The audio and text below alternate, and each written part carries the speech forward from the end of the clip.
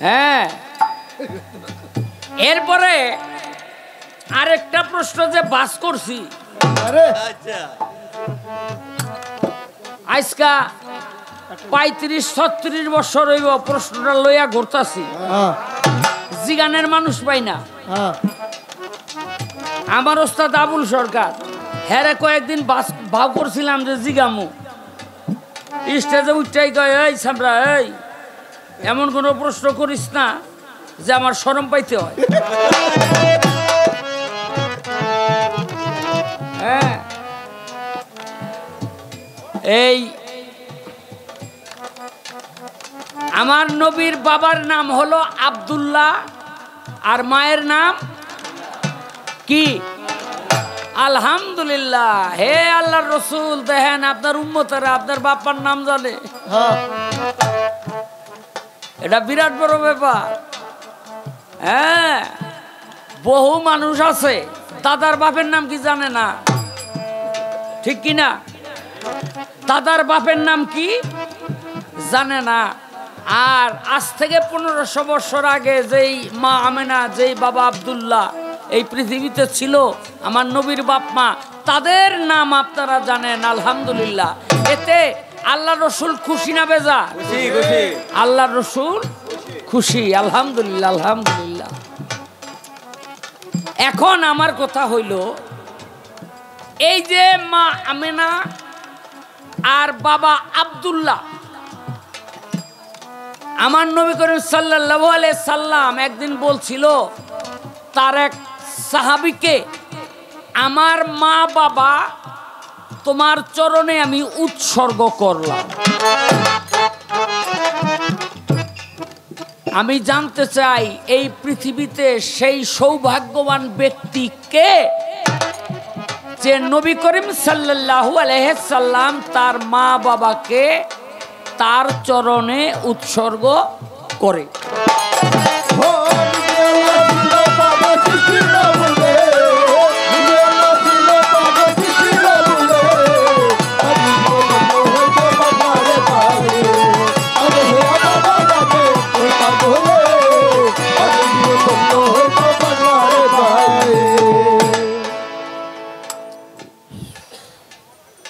কথায় আমার সামনে এখনই আসিল। কোন সাহাবাকে উদ্দেশ্য করে নবী পাইগাম্বরে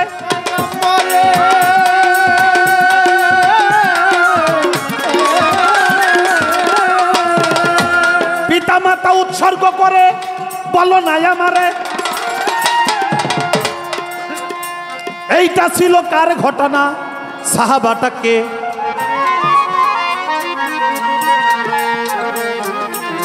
আস্তে ধীরে আবুল সরকার জবাব দিতেছে। নাম ছিল তার আবু জরে গিফারি। সবারে জানাই, মদিনাতে নামাজ পড়ে নবীর সাথে ভাই। নবীর সাথে এক জামাতে নামাজও পড়িয়া, পিছন হইতে হঠাৎ করে তিনি জায়েরে উঠিয়া, দৌড়াইয়া বাড়ি যাইয়া কিবা কর্ম করে।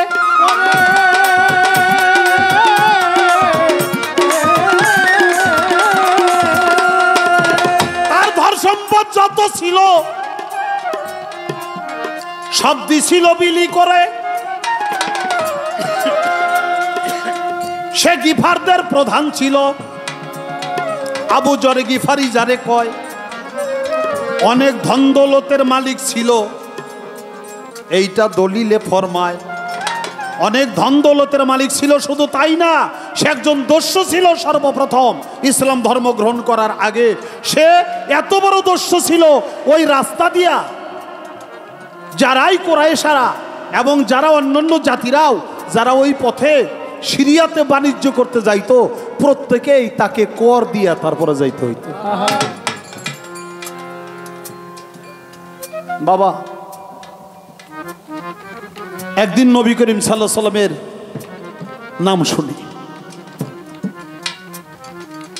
আবু জরের ছোট ভাইকে দিল যে পাঠাইয়া।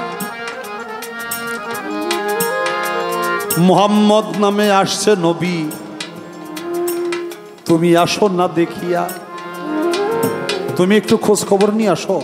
মোহাম্মদ নামে নাকি নবী আসছে একজন নতুন বাণী শোনায়। তার কাছে একবার যাও, ঘুরে আসো। দেখে আসো। আসলে সে নবী কিনা? ছোট ভাই ঘুরে দেখে, লোকজনের কাছে শুনে ফিরিয়া গেল। আবু জর গিফারি রে ডাক দিয়া বলিল হ্যাঁ ভাই, সত্যিকার একজন লোক আসছে, নাম তার মোহাম্মদ। সে নতুন ধর্ম প্রচার করে, মাটি পূজা, পুতুল পূজা, অগ্নি পূজা, এটা নিষেধ করে এক আল্লাহর আবাদত করতে বলে এবং সে আল্লাহর রসুল তাকে মানতে বলে। আবু জর গিফারি বলে, আমি চলে যাব সেখানে। আমার পরিবার বর্গ আমার ছেলে মেয়ে, সবাইকে তুমি দেখবা। আর এই গিফার যে গোত্রটা, এই গোত্রের নেতৃত্ব আমি তোমার হাতে তুলে দিয়ে আমি চলে গেলাম আমার সেই দয়াল নবীর সন্ধান। আইসা আইসা আইসা আইসা তারপরে তিনি মক্কা মুয়াজ্জমায় কার কাছে জিজ্ঞেস করব? তখনকার এমন পরিস্থিতি ছিল মক্কায়। যে মোহাম্মদের কেউ জানতে চাইলে মোহাম্মদ জানি কে? সে নাকি আল্লাহর নবী যে এই কথা জিজ্ঞাসা করতে হেরে দিলে মারত। এমন অবস্থা ছিল। কাউকে জিগায় না, জিগাইলে মার খাবে, সত্য সন্ধান পাবে না। আবুজর গিফারি কাবা ঘরে ঘুরে তখন কাবা ঘরে? কাবা ঘরে তফ করে তারপর ওই কাবা ঘরে রাত্রে ওই কাবা ঘরেই ঘরের পাশেই সে শুয়ে থাকে। এইভাবে একদিন, দুই দিন, তিন দিন গেল। হজরত আলী তিনও দিনই তারে দেখেছিল। হজরত আলী তিন দিনই তারা দেখছে, কিন্তু কিছু বলে নাই। নিজে থেকে কাকে কি বলতে যাব সে আবার কি মনে করবে? তিন দিনই যখন আবু জরে গিফারি ওই ব্যক্তিকে দেখল, তিন দিনের দিন সে জিজ্ঞাসা করল, যে ভাই আপনি তিন দিন যাবত এখানে থাকেন। আমি এসে দেখি রাত্রে। তো আজকে আপনি আমার বাড়ির মেহমান হন।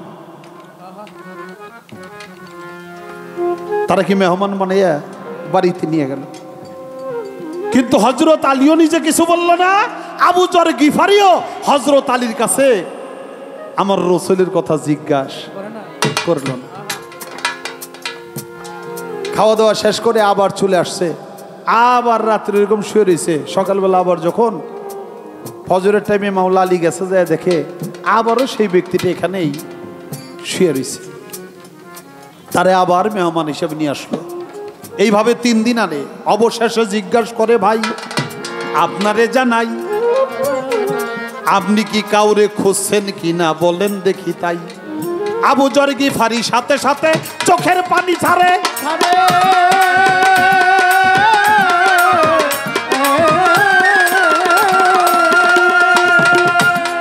আবু জর্গি ফারি বলে? কই না কথা? মার খাওয়ার ডরে। ভাই, আমি বলতে তো চাই কিন্তু ভয় পাই। আমি তাই বলি না। যে কেন তোমার এত ভয়? যে আমার অনেক ভয়। তোমার কোনো ভয় নাই বলো, যে না আমার সাথে ওয়াদা করতে হবে। আমি যেই লোকটার কথা বলব, আমি যার কথা বলব আমি যে বিষয়টা সম্পর্কে বলব, এটা আপনি সত্য যদি আমাকে বলতে পারেন, বলবেন। না জানলে বলবেন না, কিন্তু কারও কাছে বলবেনও না, আর আমাকে মিথ্যা কোনো সন্ধান দিবেন না। সত্য কথা বলবেন, ওয়াদা করেন। ওয়াদা করল। সেই ওয়াদা করে হজরত আলী বাড়িতে নিয়ে আসলো। যখন সে বলল যে, আমি আরবে নাকি একটা লোক আসছে তার নাম নাকি মোহাম্মদ, সে নাকি নতুন ধর্ম প্রচার করে। এই ধর্মবাণী প্রচার করে, আমি তার সন্ধানে নিয়ে আসছি, আমি তাকে একটা নজর দেখতে চাই। আপনি যদি সন্ধান জানেন, আমাকে বলবেন। আর যদি না জানেন, তাহলে আমাকে মিথ্যাশ্বাস দিবেন না। আর আপনি কারও কাছে আমার কথাটা বলবেন না। হজরত আলীর সাথে সাথে মুচকি হেসে বলল, যে ভাই, তুমি যার কাছে, যার সন্ধানে তুমি আসছো, আমি তার সঠিক সন্ধান দিতে পারব। তুমি খুব সঠিক জায়গায় আনছো, আসছো। আমার আল্লাহ তোমাকে সঠিক পন্থায়, সঠিক মানুষের কাছে আনছে। পরের দিন হজরত আলী একা একা হাঁটে আবু জর গিফারির কাছে বলে, বলি, তোমারও নিকটে। আমার থেকে দূরে থাকবা দেখবা লক্ষ্য করিয়া।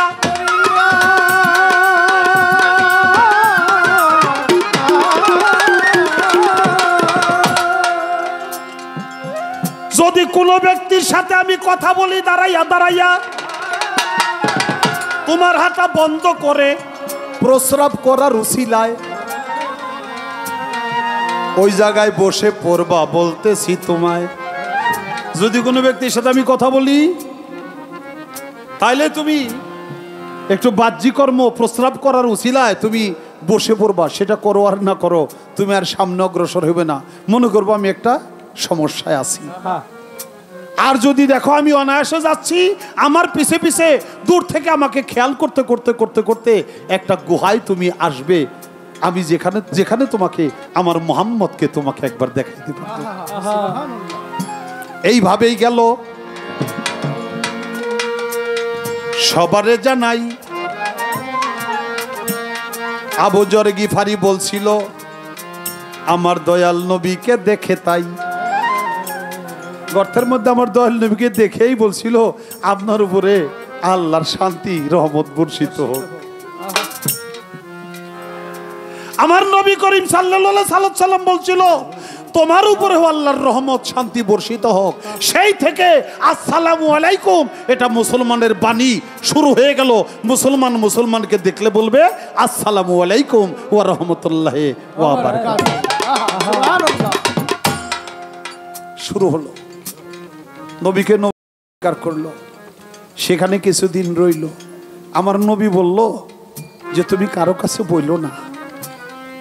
তুমি চলে যাও। আবু জর গেফারি বলল না আমি বোঝাবো না।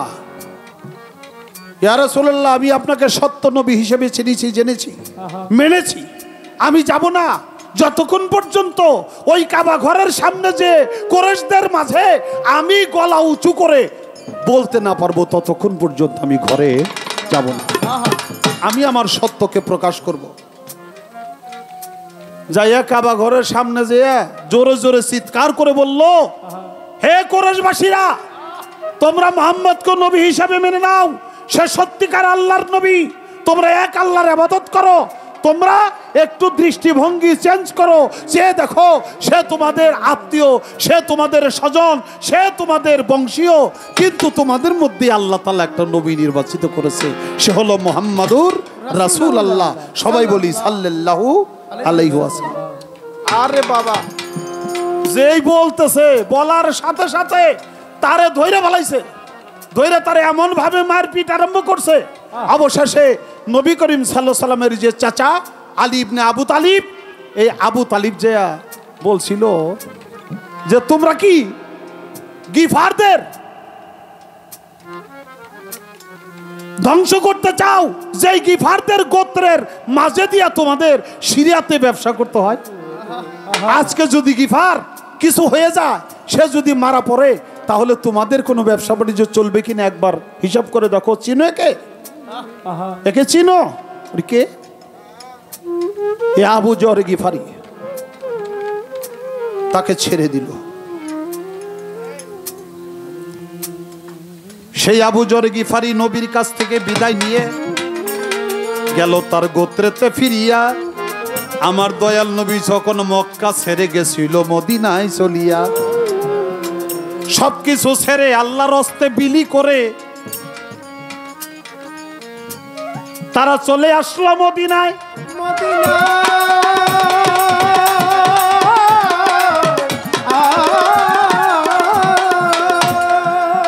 আগে হইল লুটপাট করতো এটাও ছেড়ে দিছে। যা নিজের জায়গা জমি ছিল, ওটা ত্যাগ করে চলে আসছে মদিনাতে। পকেটের টাকা পয়সা, স্বর্ণ অলঙ্কার যা ছিল, গরিব দুঃখীর মাঝে তা বিলি করে দিছে। এখন শুধু একা পকেটটা ফাঁকা।